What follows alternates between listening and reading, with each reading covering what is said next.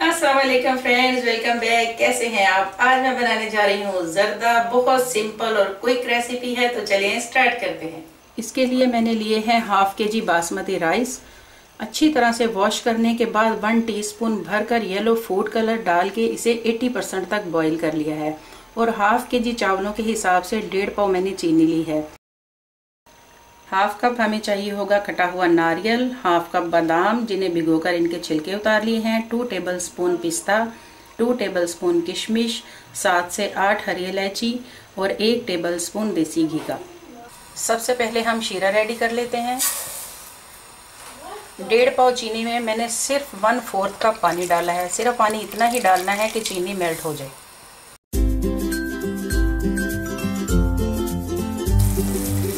चीनी मेल्ट हो चुकी है। ये देखें, चीनी का दाना ख़त्म हो गया है। अब हम चावल तैयार करते हैं। वन फोर्थ कप मैंने ऑयल लिया है। आप ये घी में भी बना सकते हैं। सबसे पहले हम इसमें इलायची को फ्राई करेंगे।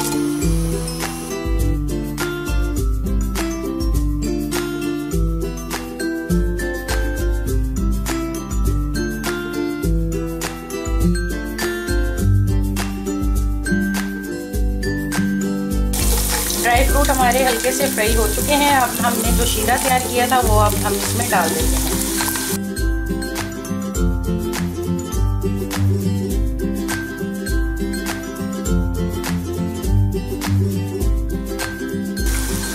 सिर्फ़ दो मिनट पकने के बाद अब हमने इसमें अपने चावल ऐड कर देने हैं।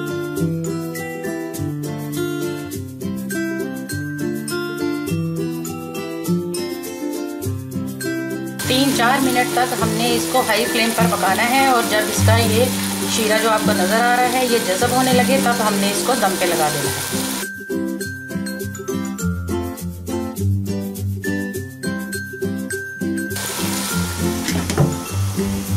अब मैंने इसको कम से कम 15 मिनट तक दम देना है। 15 मिनट हो चुके हैं। और जर्दा भी हमारा बहुत अच्छा सा रेडी हो चुका है। अब जो मैंने आपको एक टेबल स्पून देसी घी का कहा था, हम ये मज़ीद टेस्ट के लिए इसके ऊपर डाल देते हैं और मिक्स कर देते हैं और अब मैं आपको डिश आउट करके दिखाती हूँ। फ्रेंड्स हमारा यम्मी जरदा बिल्कुल रेडी है। आपने देखा झटपट से ये रेडी हो गया। मैंने इसे चांदी के वर्क के साथ गार्निश किया है, जिससे ये बहुत खूबसूरत लगता है। आप भी बनाएँ, और ट्राई करें, आपको लाजमी पसंद आएगा। मेरी वीडियो को लाइक करें, दोस्तों के साथ शेयर करें, और सब्सक्राइब करना तो बिल्कुल ना भूलें। अल्लाह हाफिज़।